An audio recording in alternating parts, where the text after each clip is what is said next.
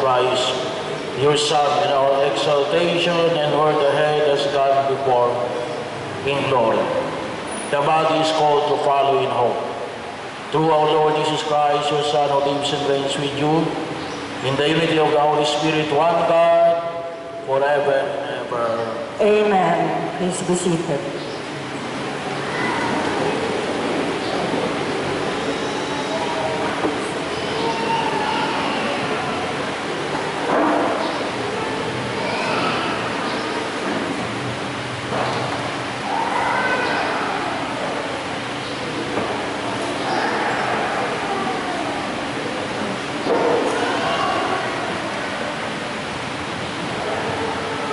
A reading from the Acts of the Apostles. In the first book, Theophilus, I dealt with all that Jesus did and taught until the day he was taken up, after giving instructions through the Holy Spirit to the apostles whom he had chosen. He presented himself alive to them by many proofs after he had suffered, appearing to them during forty days and speaking about the kingdom of God.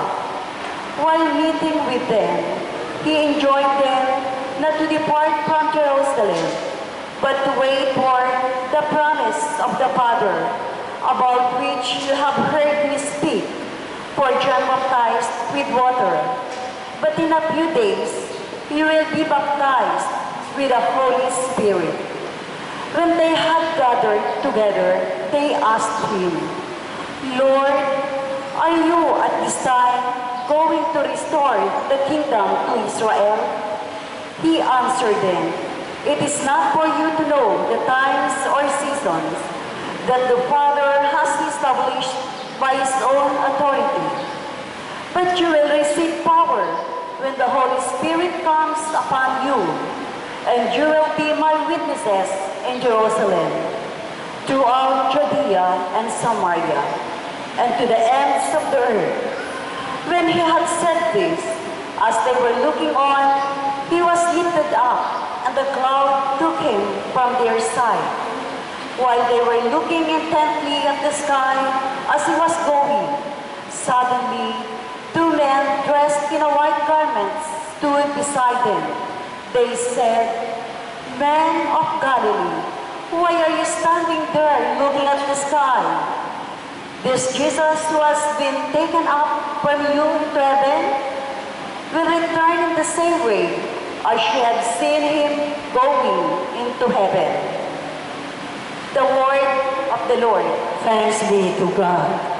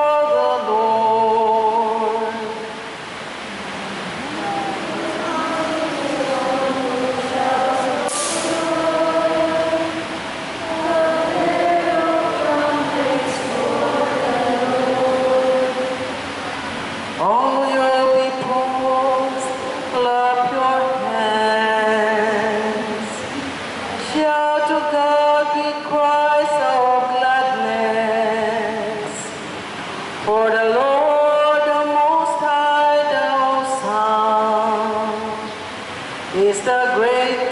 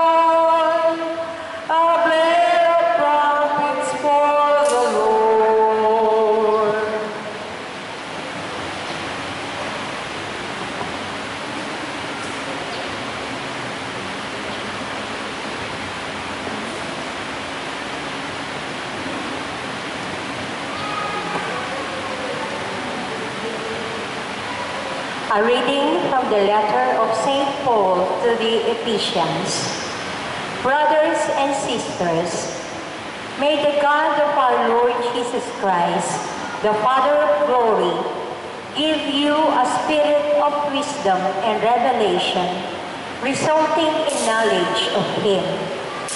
May the eyes of your hearts be enlightened that you may know what is the hope that belongs to his call. What are the riches of glory in his inheritance among the holy ones? And what is the surpassing greatness of his power for us who believe?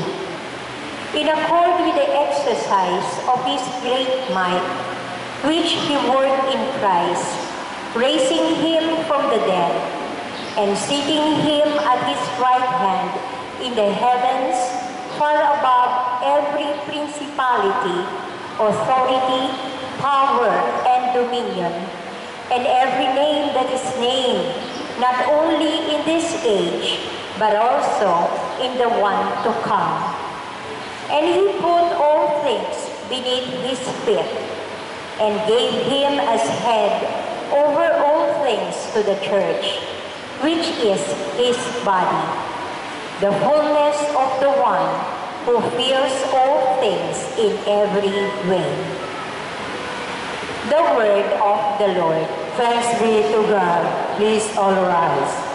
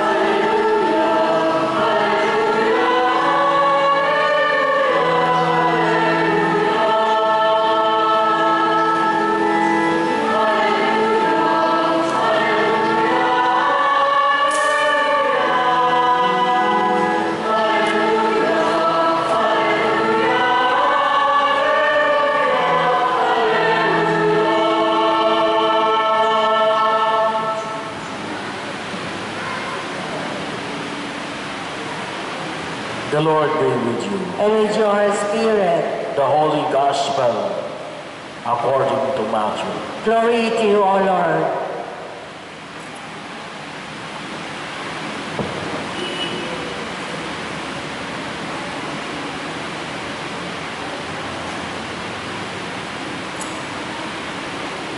The eleven disciples went to Galilee to the mountain to which Jesus has ordered them.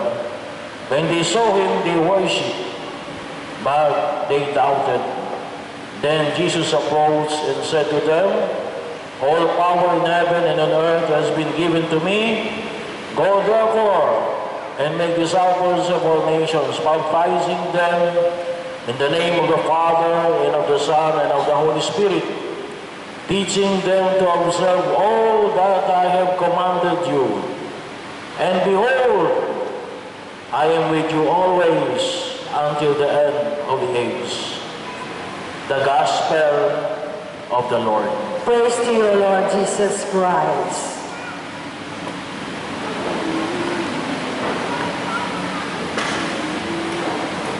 Sumainyo ang Panginoon.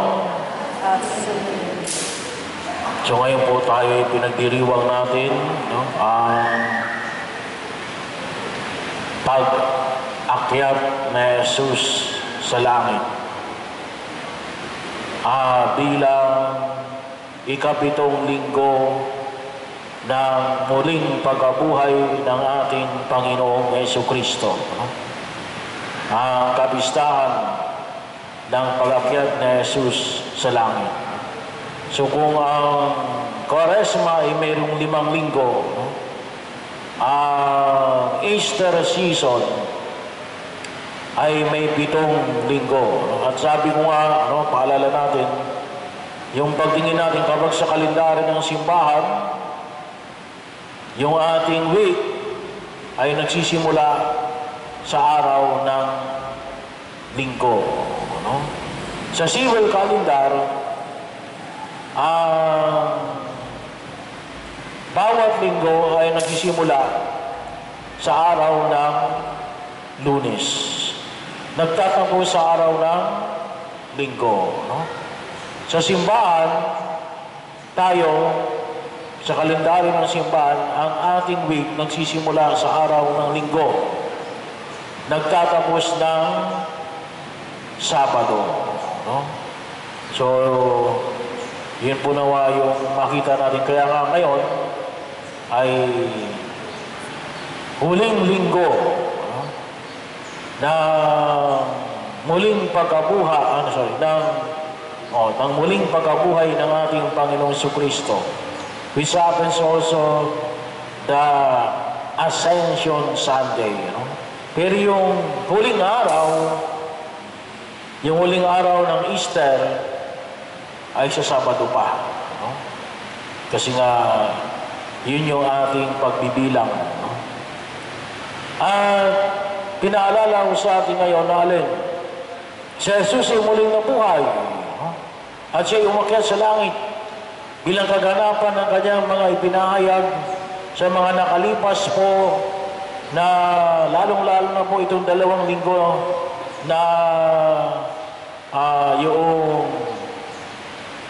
fifth at saka sixth Sunday, no? aalis na ako. Pupunta na ako sa Ama. At nakita nga nila sa ipinahayag po sa unang pagbasa sa gawa ng mga apostol, ipina, pinahayag ng mga gawa ng mga apostol yung kanilang naranasan alin. Si Jesus ay umakyat sa langit. Saan nangyari? Sa isang bundok ng Galilea. Well, bagamat may sapat tayo na kinikilala na iyon yung lugar na si Jesus ay umakyat sa langit. No? Pero sa Ebanghelyo ay walang nakalagay kung saan. No? Malawak po kasi yung Galilea. No? Galilea is a province. Parang sinabi mo sa Laguna, no? sa isang bundok sa Laguna. No? Well, pero sabi nga natin, yung ating oral tradition, may kinikilala tayo kung asaang bundok yon. No? Pero nakita po nila na umakyat si Jesus sa langit. Pinaniwalaan natin na si Jesus ay umakyat sa langit. No? Pero hindi yung nagtatapos doon. Kasi katulad na ipinahayag po ng dalawang anghel, doon sa unang pagbasa sa Acts of the Apostles si Alem. Kasi anong sabi ng dalawang anghel? Men of Galilee, no? bakit kayo nakatingala dyan? Si Jesus ay babalik. Pero sa Ebanghelyo natin, hindi lamang yun. Sa Ebanghelyo natin alin? Mayroong habilin si Jesus. na kinakailangan isa katuparan natin. Ano yung habilin na yon? Ang habilin na yun ay alin? Go and make disciples of all nations. Go and make disciples of all nations. Pumayo kayo at gawin ninyong mga alagad ko ang lahat ng bansa. Go and make disciples. Yun ang hamon ay pinapahayag ni Jesus. Ang Kristong umakyat sa langit. At mismo sa Ebanghelyo ni San Mateo, ito po'y yung huling ah, talata na rin sa Ebanghelyo ni San Mateo, mayroon siyang tatlong panyaya para ho may isa katuparan ang bagay na ito. Una, anong sabi? Baptize them in the name of the Father, and of the Son, and of the Holy Spirit. Yung kahalagahan ng binyag. Kahalagahan ng binyag. Kasi ang binyag ay pintuan ng lahat ng sakramento. Ang binyag ay pintuan patungo sa langit. Ang binyag ay pintuan sa buhay na walang hanggan.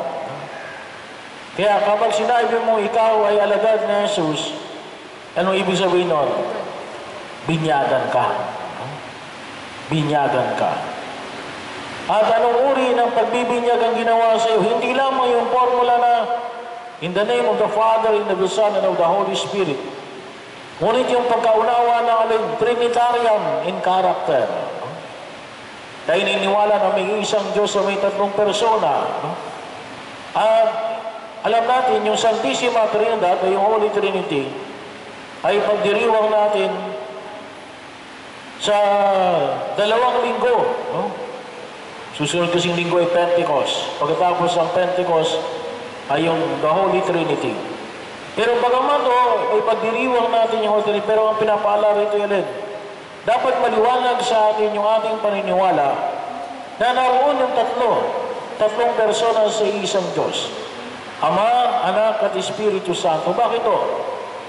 Kasi po, may mga Kristiyano na ang tawag nila sa kanilang sarili ay mga Kristiyano, pero wala yung tatlong ito. no? Yung iba nandun lamang sa level ng Diyos Ama. No? Wala sa kanilang Diyos Anak. Kasi bakit? Sa kanilang pagkaunawa, ang Diyos, walang Diyos Anak. Wala si Jesus bilang Diyos. Sino lang si Jesus? Mayroong Jesus, pero ano? Ah, tagapagdala ng mabalita. Messenger. Propeta. Pero hindi Diyos. No? Ang sa kanila lamang ay Diyos Ama. Katulad po halimbawa ng alin? Mga iglesia ni Kristo. Yung Seventh-day Adventist. Mormons. Yun ay niniwala na may Diyos. Pero hindi Diyos si Jesus. No? O hindi naman o kaya ang pinaka binibigyan lamang ng pansin ni Alin, ang Espiritu Santo. Kaya tawag nila sa kanilang sarili Alin, Pentecostals. No? Pag sinabi mong Pentecostals, Espiritu Santo, no? yun lang ang mahalaga sa kanila. Binabaliwala yung ama at yung anak. Kung mayroon man, hindi masyadong pinapansin.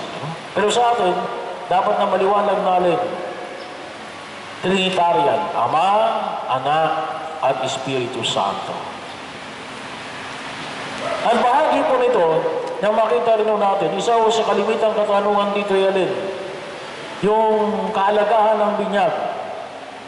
Yung isa po may sasabi, nag- nagre-request, Father, pwede bang pabuhusan ng tubig yung bata? Kasi kami ay maglalakbay, hindi pa kami makapagbibinyag. Sabi ko, yung buhos tubig, sa wikang English, ang tawag doon niya alin, emergency baptism.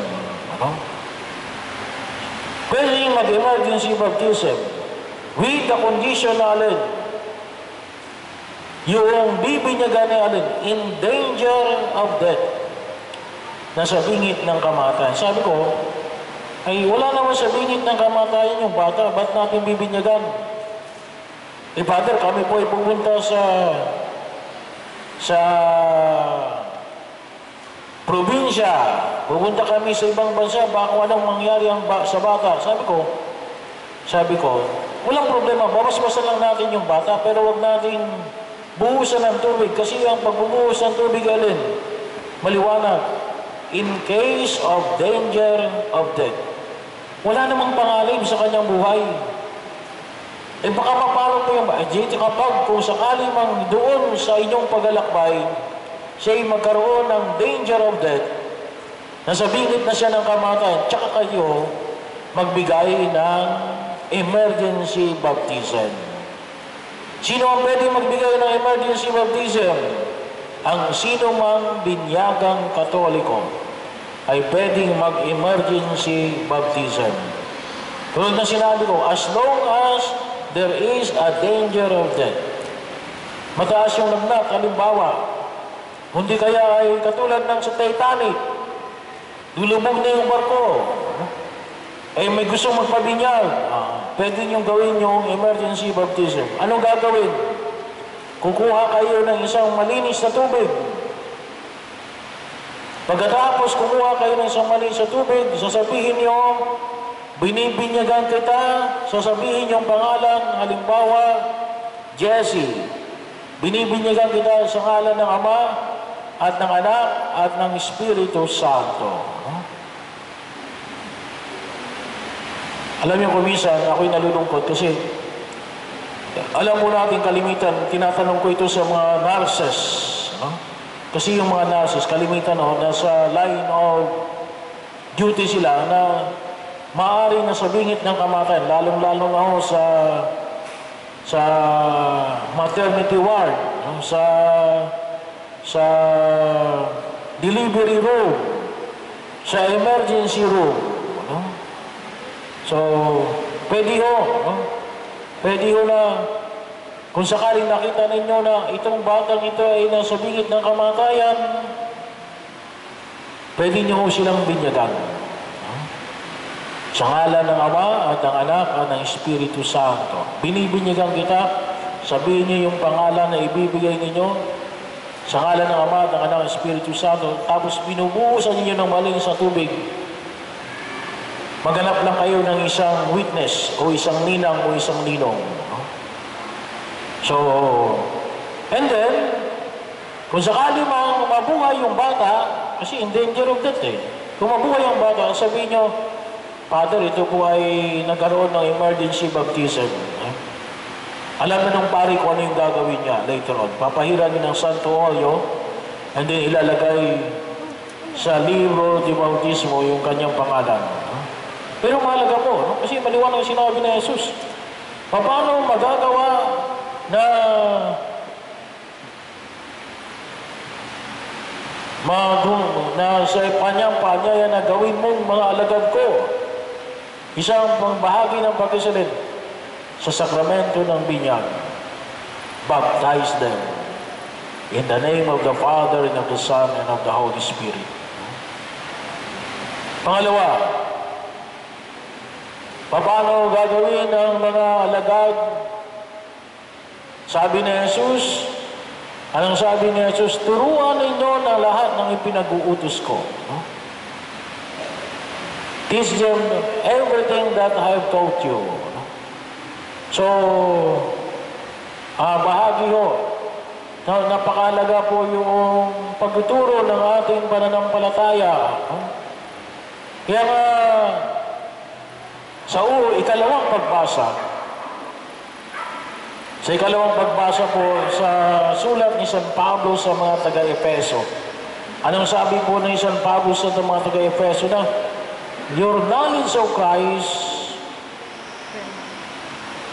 will bring you to two distinct grace. Ano yun?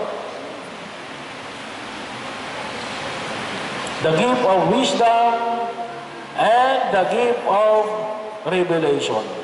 Yung pagkakilala mo raw kay Kristo ay magbibigay sa iyo ng karunungan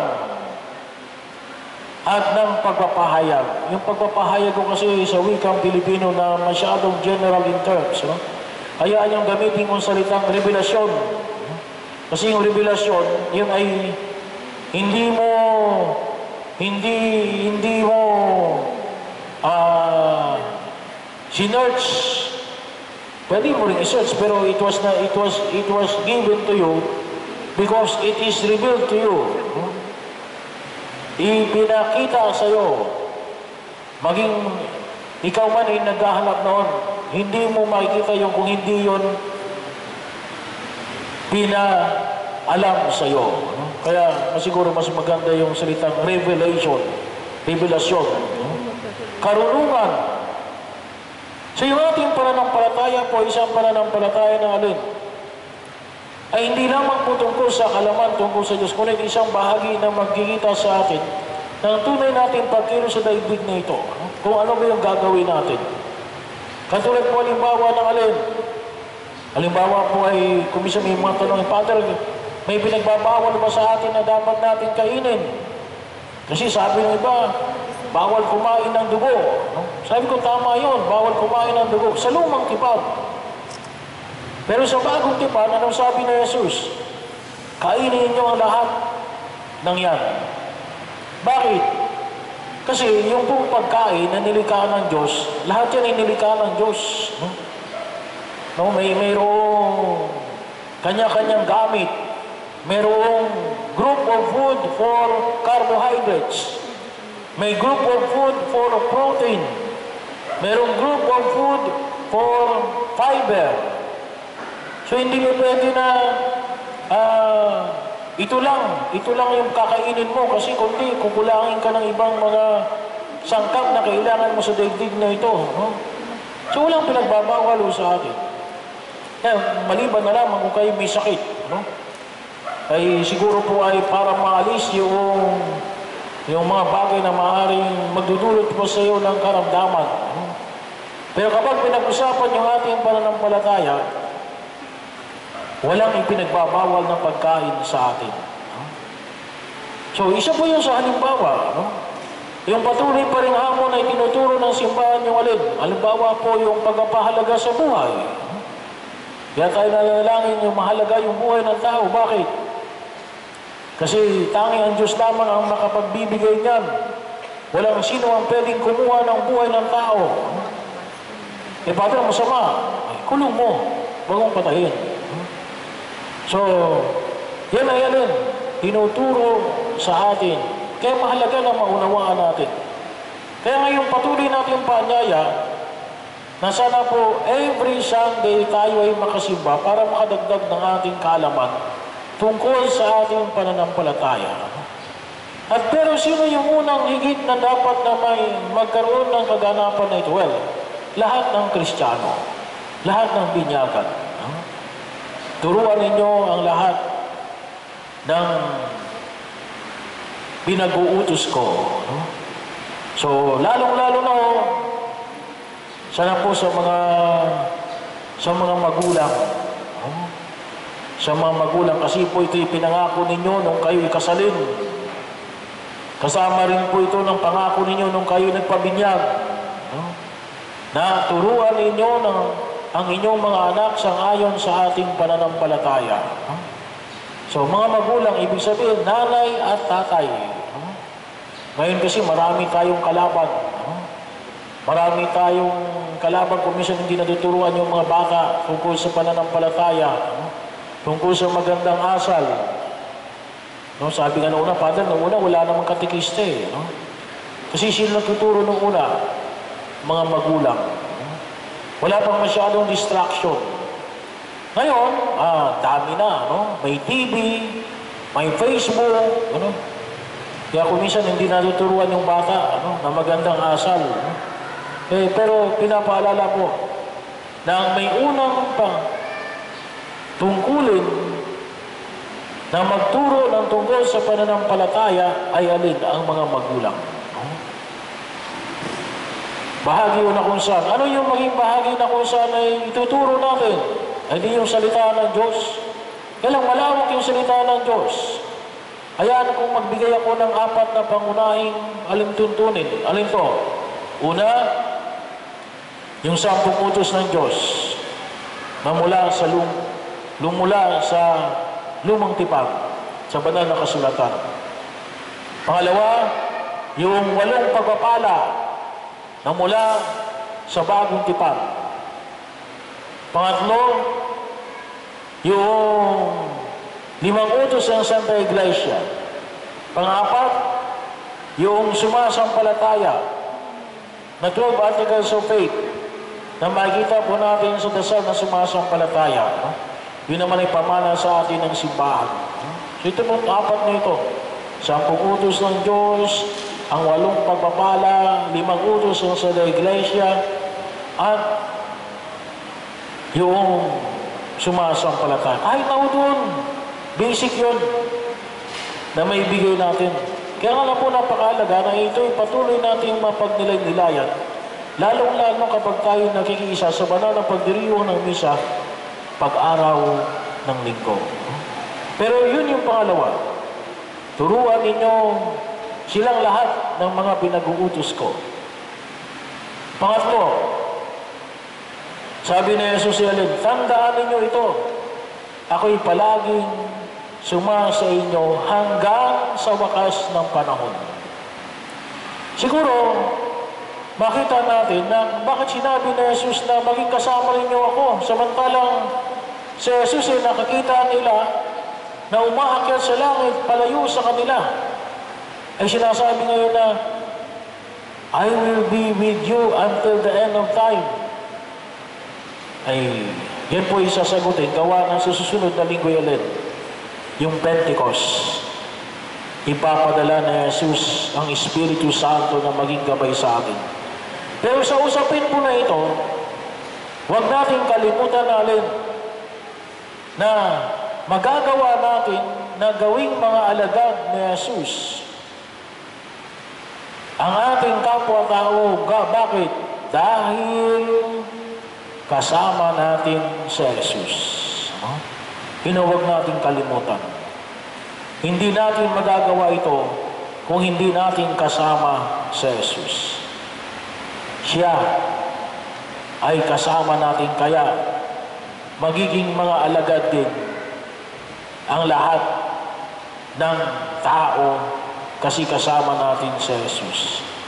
So hindi naman kinakailangan, sabi nga natin ay ng, ng mass production, yung makakala natin kinakailangan natin marami kagad ang ating mapagpahayagan upang sila'y sumampalataya kaya hindi ho. Sabi ko nga kahit na lamang magsimula sa inyong mga magulang, sa inyong mga anak. Pero Makita ko natin, katulad po halimbawa sa banal na kasulatan, yung una, yung ikalawa nating pagbasa sa sulat ni San Pablo sa mga taga-Efeso, kanino niya pinahayag yung kanyang sulat sa mga taga-Efeso? A group of people. Pero hindi ho lahat ng, ng aklat sa banal na kasulatan ay intended for many. Some are intended for one person. Ang isang halimbawa po ay alin? Originally, ha? Originally, later on, ginamit na lamang ng simbahan. Originally, yung pong unang pagbasa natin, yung gawa ng mga apostol, ay alin? Intended only for one person.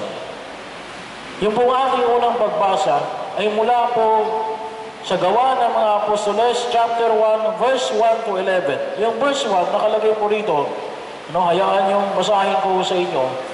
Sabi rito yung In the first book, ah, mayroon pa lang, mayroon pa palang unang libro. Pangalawang libro na pala ito, no? yung Acts of the Apostles. So sinabi ko, in the first book, Theophilus. So ibig sabihin, ito ay para kay Theophilus, isang tao lang, no? I dealt with all that Jesus did and taught until the day he was taken up after giving instruction through the Holy Spirit to the apostles whom he had chosen. So, ito pala ay para kay Theophilus. Kaya kung, kung makikita niyo rin po, yung first verse of the first chapter of St. Luke, ang nakalagay din po rin ni Beloved Theophilus. So, Ito pong dalawang libro na ito, is of course, the Gospel of St. Luke, yung sabihin, ang sumulat si St. Luke, ang author ng dalawang librong ito, yung The Gospel of St. Luke and the Acts of the Apostles. Na alin, na kaya sinulat ni San Lucas ang dalawang librong ito, originally is intended only for one person. Pero anong ginawa ng simbahan? Ginamit ito ng simbahan para maging kabilang sa collections of books na tinatawag nating Bible. So kaya po, ano yung punto ko? Kahit na ho isang tao, magawa nating alagad na Jesus ay sapat na. It will later multiply along the way. Pero, magsimula tayo sa isa. At yung patuloy na hamon na pinapahayag natin sa papanong pamamaraan, well, pwedeng sa pagsusulat, no? pwedeng sa pamagitan ng pag-awit, o sa pamagitan ng pagakda ng pag mga awit, pwede rin sa mga tula. So ang mahalaga alin ay magindaan tayo na ang ibang tao ay makilala sa Jesus at kanyang maging alagad. Matulungan nating ma matanggap sa Jesus, magpabinyag. No? Maging bahagi yun na kung saan ay may magdulot sa atin ng kaligtasan. Pero yung patuloy kong hamon, lalong-lalo na ako sa mga nagsusulat, sa mga sa mga maaring gumagawa ng tula o gumagawa ng kanta, ang aking hamon ni Alin, make it local. Kung masana po Alin. Kung ikaw ay nagsalita mo ay Tagalog, gawin mong Tagalog. Kung ang salita mo ay Ilonggo, gawin mong Ilonggo. Kung ang salita mo ay ay Ilocano, gawin mong Ilocano. Kung ikaw ay Bicolano, gawin mong Bicolano. Kung ikaw ay Maranao, gawin mong Maranao. Kasi yun po yung kulang eh. Yung local dialect. Sa English oh, marami na. No? Marami tayong materials for English. Pero yung local, kukulang mo natin. So, bahagi po yun, ano? At tamang-tama ko ngayon. No? Tamang-tama ko ngayon. Pasensya na kayo, medyo mahaba po yung aking pagninilay. No? Bahagi yun na kung saan ay makita po ng isa pong isang magandang halimbawa na making disciples of Jesus Christ ay sino? Ang mahal na Birhen Maria. No? So, isa po yun sa isa sa mga ang pamamaraan na ginagamit natin no, sa mahal na Birhen Maria. So kayo po mga mga dalaga, mga bata, ano, magandang dilag na tanang posisyon ngayon sa araw na ito. Nagpapasalamat po tayo, bagamat umulan, binasalang yung tubig, ah, binasalang yung binasalang ng tubig yung ating dinaanan, ano? Magpasensya na po kayo at hindi ako nakasama sapagkat araw ng linggo, ano? Maraming schedule. So, kanina nagbinyag ako ay alauna na, ano? Nagbibinyag pa ako mula 6.30 ng umaga dire-diretso. Kaya wala na po akong lakas para sumama sa posisyon. No? Pero bahagi ho, no? isa po sa pamamaraan na epektibo ay sa pamagitan po ng debosyon natin sa mahal na Birheng Maria. No? It attracts people. Isa po yun para sa ating parang kasi yun ang, yun ang, yun ang ginagawa ni Maria. No? Sa pamagitan ninyo na nagpapahayag, no? nakalagay po dyan yung inyong mga pangalan, Queen of Peace, Queen of Justice. No? Yan po lahat ay mga title of Mary. Na kung saan ay nawa sa pamagitan niya nalin, maka-attract kayo ng tao. Papalapit kay Jesus. Isa po sa tungkulin na ginagawa ng mahal na Birheng Maria. No? Isa pong debosyon, lalong-lalo na ngayong buwan ng Mayo, sa ating pong pagkapalangan sa mahal na Birhen ng mga bulaklak. No? Kaya po tayo nagpapasalamat sa ating mahal na ina. No? At sa inyo, no? Na isang pamamaraan ay makita po natin natin, ah, maliwanag na tayo nawa ay maging daan upang ang mga tao ay lalong mapalapit kay Jesus.